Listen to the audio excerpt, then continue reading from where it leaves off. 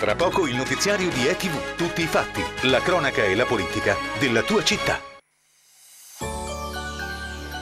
Per la tua pubblicità su ETV Rete 7 chiama 051 63 81 819.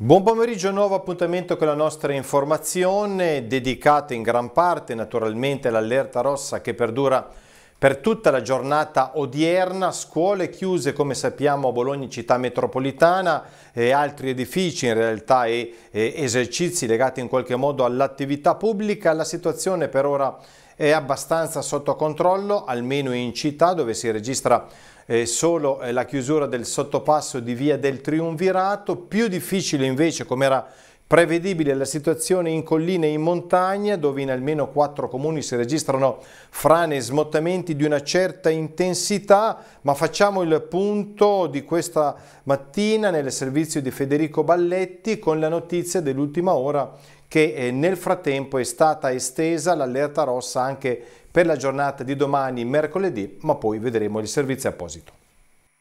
Almeno quattro frane fra l'Appennino e i colli di Bologna, la più seria a Monterenzio dove terra e fango hanno bloccato la provinciale Valle dell'Idice, le altre sono fra Loiano, Casalfiumanese, Pianoro, qui nella frazione di Livergnano un paio di famiglie sono state evacuate a scopo precauzionale dopo lo smottamento di una parete rocciosa, ma il maltempo con un'allerta rossa che è già stata prolungata fino a domani nel bolognese si fa sentire anche in città dove almeno sul fronte del traffico la chiusura delle scuole ha avuto l'effetto di limitare i disagi che comunque non sono del tutto tutto mancati, come in via Triunvirato, zona aeroporto, dove il sottopasso è stato chiuso in mattinata e poi riaperto. Sui colli chiuse via Paderno, via della Torre, via Toriane per allagamenti e piccoli movimenti franosi. C'è poi la solita via Saffi, dove il Ravone è tornato a fare paura. Lo stesso comune, intorno alle 9.30, ha lanciato un allarme perché il livello del corso d'acqua si stava alzando rapidamente e si prevedeva che nel giro di mezz'ora potesse esondare, sempre nel tratto dove per due volte nei giorni scorsi ha allagato cantine e negozi.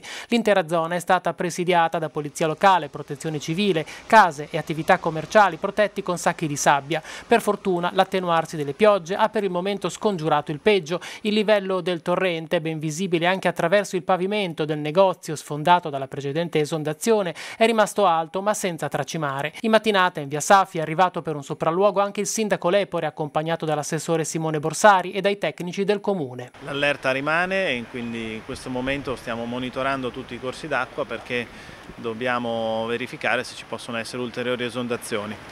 Eh, per ora pare abbia tenuto il Ravone ma eh, non è detto che questa sera, oggi pomeriggio, non ci possa essere qualche altro rischio. Direi che ad oggi a Bologna particolari disagi non ci sono, eh, dovuti anche al fatto che comunque lo, lo stop a, alle scuole e eh, il suggerimento che abbiamo dato a tutti di smart working e di muoversi il meno possibile ci sembra molto rispettato, quindi davvero ringrazio i cittadini, ringrazio tutte le aziende che stanno collaborando perché oggi Bologna ha sicuramente dato prova eh, di grande senso di responsabilità. Eventuale chiusura delle scuole per domani è presto per parlarne? È presto per parlarne, abbiamo una riunione con i sindaci dei comuni capoluogo eh, questa mattina insieme all'assessore Priolo, ci ritroveremo poi con la prefettura e con gli altri sindaci dell'area metropolitana e decideremo. Tornando a Via Saffi, i lavori definitivi sul Ravone potrebbero essere anticipati rispetto ai cantieri del tram?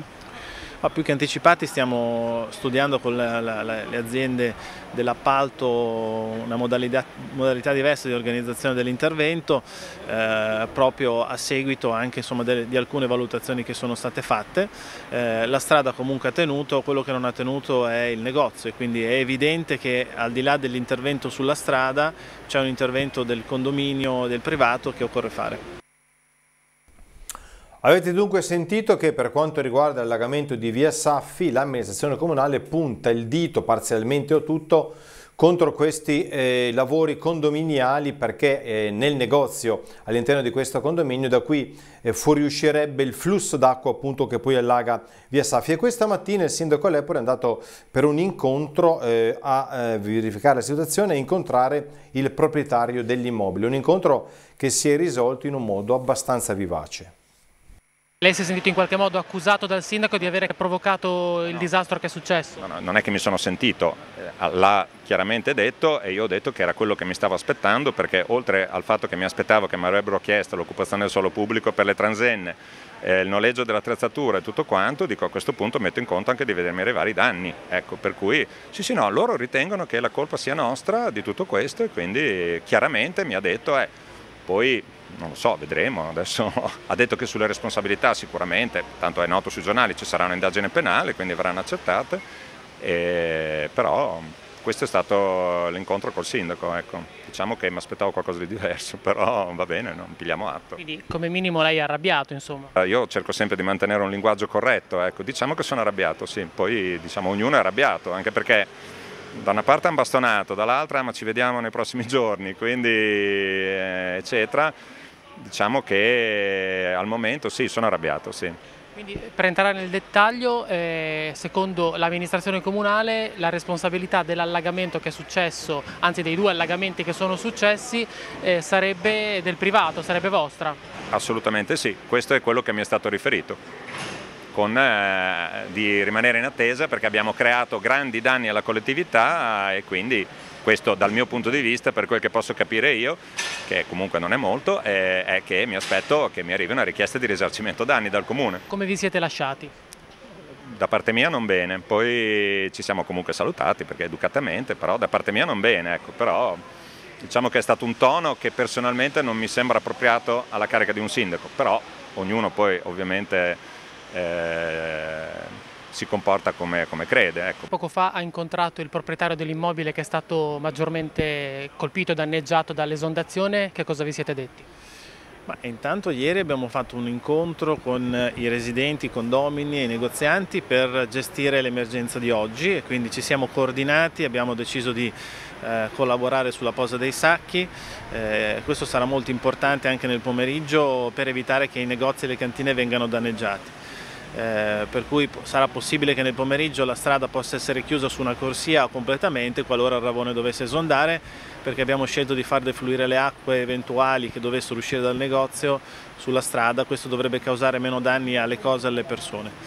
Eh, dopodiché con il proprietario come sapete eh, c'è un dialogo in corso, abbiamo fatto un'ordinanza che chiede di ripristinare il prima possibile eh, lo stato del, di fatto del negozio perché occorre eh, tombare quel buco che è sicuramente la causa dell'esondazione delle acque, quindi prima si fa questo intervento meglio è. Non possiamo certo parlare in questa diatriba, questa tensione, in una giornata d'altronde di eh, tensione elevata per i rischi che in qualche modo la collettività possa correre. Dicevamo non possiamo parlare di terzietà eh, facendo parlare il presidente, il direttore generale di Ascom Commercio Giancarlo Tonelli, essendo a tutela dei commercianti adesso iscritti, però in qualche modo Tonelli ha detto la sua sul problema di Via Saffi a margine di una della presentazione di una nuova eh, iniziativa che vede coinvolta Fondazione Bologna Finzioni e le cucine popolari. Ascoltiamo allora il parere di Tonelli. È una giornata particolare questa, che è già cominciata male da ieri, nel senso che purtroppo quello che sta capitando con le trasformazioni del clima e queste alluvioni che stanno capitando in queste settimane comportano significativamente una riduzione, come voi potete ben immaginare, della vita cittadina. Quindi questa mattina le scuole erano chiuse, molti uffici, molte attività sono in smart working, quindi c'è una presenza minore naturalmente di persone per la città. Chiaro che la preoccupazione in questi casi è diventata alta a fronte anche delle difficoltà delle giornate scorse credo che sia necessario assolutamente intervenire, ma non solo a Bologna, in questo caso in un contesto anche più nazionale, per portare avanti dei provvedimenti che vadano nella logica di tornare a governare questi fenomeni che ci sono poi sempre stati, eh, non è una novità di questi giorni, eh, con maggiore attenzione per quello che riguarda la cura anche dell'ambiente e naturalmente anche dei fiumi, dei torrenti, ma non solo. Io credo che sia per quello che riguarda la realtà pubblica, sia per quello che riguarda anche anche la realtà privata la cura delle nostre colline, del nostro Appennino, nostre, dei nostri fiumi, eh, di tutti quelli che sono anche naturalmente le necessità, la manutenzione vadano, vadano intensificate alla luce del fatto che forse negli ultimi anni queste attenzioni si erano rallentate. È chiaro che in via Saffi si è concentrato in modo particolare il problema oggi, c'è una delicatezza evidente ogni volta che, che piove e a questo non bisognava arrivare.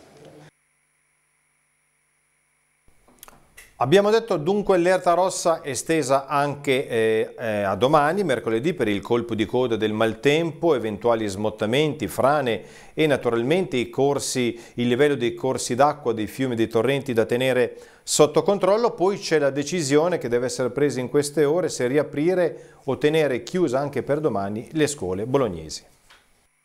Prosegue almeno fino a domani l'allerta maltempo sulla parte centro-orientale dell'Emilia-Romagna. L'ARPA ha diffuso una nuova allerta rossa, il massimo livello. Per domani, mercoledì 17 maggio, si legge nel documento diramato insieme alla protezione civile, permarrà una circolazione depressionaria con precipitazioni diffuse nella prima parte della giornata in progressiva attenuazione. Si prevede il perdurare di piene con interessamento delle zone golenali e degli argini su tutti i corsi d'acqua del settore centro-orientale della regione saranno possibili significativi innalzamenti dei livelli idrometrici sul reticolo idrografico minore con associati fenomeni di erosione spondale e possibili inondazioni delle aree limitrofe anche per effetto di criticità locali, tombature e restringimenti, è il caso del torrente Ravone, e difficoltà di smaltimento delle acque della rete di bonifica.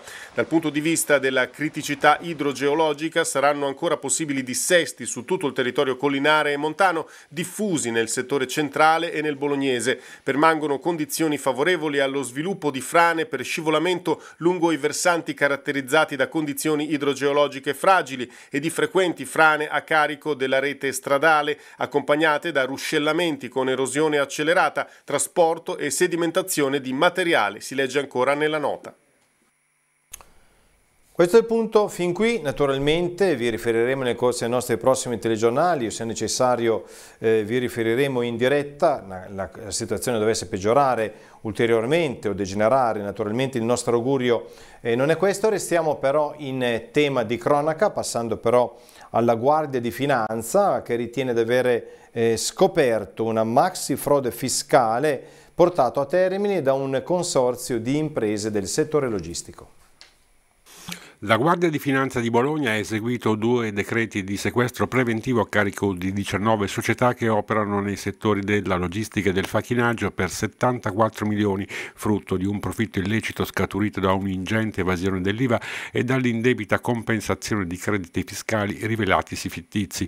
Le misure cautelari sono l'epilogo di un'indagine cominciata nel 2016 e terminata nel 2020 che ha consentito di smascherare un meccanismo di somministrazione illecita di manodopera portata avanti da un noto consorzio bolognese con sede a Castelmaggiore attraverso una rete di società considerate spurie attive in diverse località italiane tra le quali Bologna. Grazie anche alla collaborazione con l'Agenzia delle Entrate è stato accertato che le 19 società interposte tra il reale datore di lavoro, il consorzio e i dipendenti, 1700 circa per ogni anno, oltre a rivelarsi inadempienti al versamento delle imposte, avevano compensato ingenti debiti tributari con corrispondenti crediti inesistenti. Al termine dell'indagine è stata ricostruita un'evasione dell'IVA per 39 milioni, perpetrata attraverso un giro di fatture giuridicamente false ammontanti a 250 milioni circa e un'indebita compensazione di crediti fittizi per 36 milioni. Sono state quindi denunciate 44 persone, i vertici del consorzio e i legali rappresentanti delle 19 società che si sono succeduti, nei cui confronti sono stati sottoposti a sequestro ingenti disponibilità finanziarie, immobili e partecipazioni partecipazioni societarie per un valore di oltre 9 milioni di euro, sottoposte a sequestro impeditivo lo stesso consorzio e due società collegate, ora affidate a amministratore giudiziario. Le tre aziende potevano contare su circa 500 dipendenti in grado di produrre un volume d'affari annuo di ben 83 milioni di euro. Il riesame ha confermato le misure cautelari e ora lo sport col basket perché la Virtus ha battuto in gara 2 ancora Brindisi ai quarti di finale playoff. Adesso La serie si sposta eh, in casa degli avversari per gara 3 in programma venerdì sera. La Virtus vince ancora contro Brindisi e si porta sul 2-0 nella prima serie playoff, ma la partita è stata diversa rispetto a quella giocata sabato sera. La Virtus parte subito forte e anche stavolta è micidiale in fase d'attacco con Teodosic e Hackett. Brindisi però è in partita e risponde colpo su colpo, portandosi anche sopra di un punto sul 47-48. Un break che dura poco perché poi i bianconeri arrivano all'intervallo sul 53-48. Poi entra in scena Bellinelli che con una fiammata a inizio secondo tempo tempo mette tre triple e fa volare la sua squadra più 15, si arriva pure a un massimo vantaggio di più 23 sul 71 a 48. In attacco funziona tutto bene, in difesa invece la Virtus concede qualcosa e Brindisi nell'ultimo quarto con un buon recupero arriva a meno 7. Poi il tiro di Teodosic che chiude la partita. C'è tempo però anche per un bel canestro di Bellinelli per il definitivo 109 a 95. Adesso la serie si sposta a Brindisi per gara 3 in programma venerdì sera alle 20.45. 5. Scariolo si è detto soddisfatto soprattutto perché le combinazioni offensive della sua Virtus funzionano bene, ma non vuole abbassare la guardia. Sappiamo bene, ha detto a fine gara, che a Brindisi sarà dura, loro sono la seconda squadra più veloce del campionato, questo richiede per noi grande energia difensiva. Venerdì non ci sarà turnover, a meno che non me lo chieda lo staff, ha annunciato lo stesso Scariolo. Bene, questo era l'ultimo servizio del nostro TG pomeridiano, grazie alla cortese attenzione vi eh, ricordiamo anche che c'è il nostro rinnovato sito www.etrattinotv.it, eccolo che vi aggiorna H24 su quanto sta accadendo in attesa del prossimo telegiornale da Bologna provincia. E non solo, dicevamo per rivedere i principali servizi, i telegiornali e naturalmente le principali trasmissione della nostra emittente. Ci fermiamo per questo TG è davvero tutto, grazie della cortese attenzione, appuntamenti ai prossimi notiziari.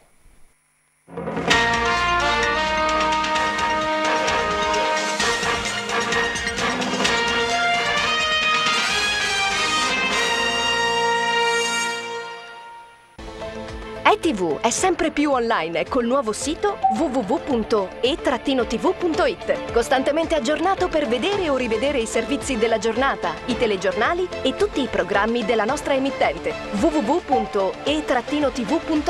e ti connetti con la realtà che ti circonda.